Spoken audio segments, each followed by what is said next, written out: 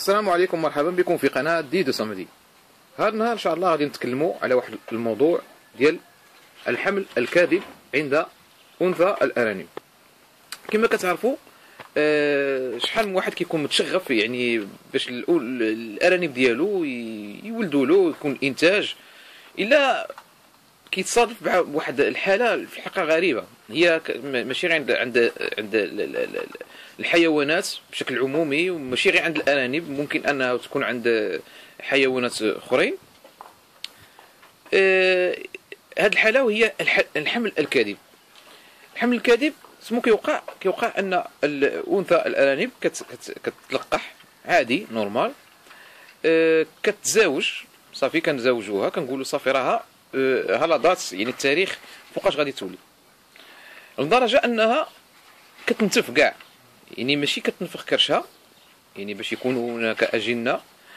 أه ولكن كت كت كت كتنتف. حنا كنقولوا كتنتف وما كتولدش. يعني المربي كيبقى حاير. يعني أشنو غادي يدير؟ واش غادي يكمل معاها واش واش يعني راه آه، خاصو يستعمل اليبرا باش يتخلص لأن كيكون فات الفوت فات الوقت ديال ديال ديال, ديال الولادة ديالها. ب 33 يوم أو 34 صافي كيقول هذه راها آه، الأجنة راها متحجرة فيها أو آه، راه كاين شي غلط. يعني الناس اللي كيتعاملوا بالعقل وب يعني بالحساب. اسمو كيوقع كتكون هي يعني نتفت وهي حمل كاذب. يعني هي آه، ولفت أنها تولد. يعني هذه الحمل الكاذب غالبا ما كيكونش في أول مرة. يعني أول أول ولادة الانثى إلا كيكون يعني في, في, في كتكون والدة فايتة والدة. ملي كتولف هي الولادة انت كتعودها كتعطيها واحد واحد الجرس كتبقى تقول لها من من من من من, من شهر لشهر أو من شهرين لشهرين خصك تكوني حاملة.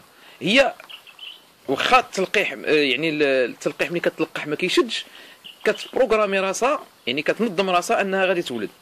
ملي كتوصل الوقيته ديال ديال الولادة ديالها صافي خصها تنتف. ملي كتنتف المربي كيوقع في حيرة واش راها يعني آه، غادي تولد ولا راها آه، بقاو الأجنة في, في, في البطن ديالها وممكن أن هذا الشيء يتسبب في الخسارة ديالها والموت ديالها. آه، يعني الحل ديال هذا المشكل هذا وهو كالتالي خاص عملية الجص ضروري عملية الجص.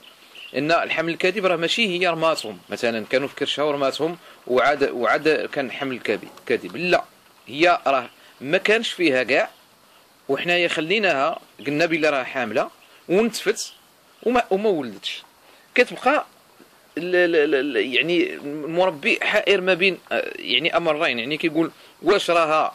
يعني خصني ندير لها شيبره ولا كما عودتكم آه، في مواضيع سابقة واش ندير لها الشيح. كاين اللي كيبغي يدير الشيح باش باش تنزل داك الشيء. يعني آه، باش تنزل هذاك الأجنة اللي في كرشها لأن فات الوقت ديال ديال ديال ديال الحمل ديالها. كيبقى حاير الحيرة آه، كيفاش كداوى؟ وهو خاصكم تعلموا عملية الجص. عملية الجص خاص ما يكونش يعني أي واحد يديرها خاص يعني تدريب. علم راسك ممكن أنك تشد واحد النفاخة الفخه ديال اللي كينفخوها ودير فيها مثلا واحد جوج عقيقات جوج بيات جوج جوج حمصات مثلا وتعمرها شوية بالماء وتبقى أنت تدرب راسك راسك.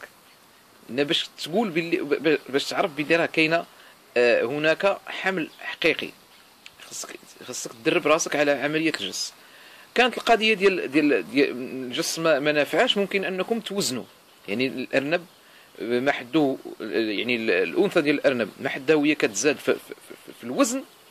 يعني وانت كتعطيها نفس الكمية ديال الماكلة.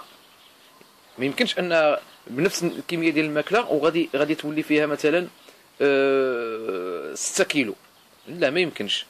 يعني راه كاين كاين شي حاجة في, في, في البطن ديالها اللي زايدة لها الوزن. منين نشوفوا هذه القضية هكا؟ كونوا متأكدين أن راه تفكيتوا من من من من, من الموضوع ديال الحمل الكاذب. الحمل الكاذب يعني خصكم تعاملوا معاه ببساطة. عادي إن هي تعودت أنها تولد. منين جات الوقيته ديال الولاده ديالها؟ ما ما شدتش. يعني التلقيح ما شدش. كتنتف راسها باللي راه كتبين لك بلي راه غادي تولد وما كتولدش. صافي عادي ماشي مشكل. تقبلوا هذه القضية وعطيوها عاوتاني للذكر مرة أخرى. وحاولوا أنكم العملية ديال الجص آه عفوا العملية ديال التزاوج تكون صحيحة.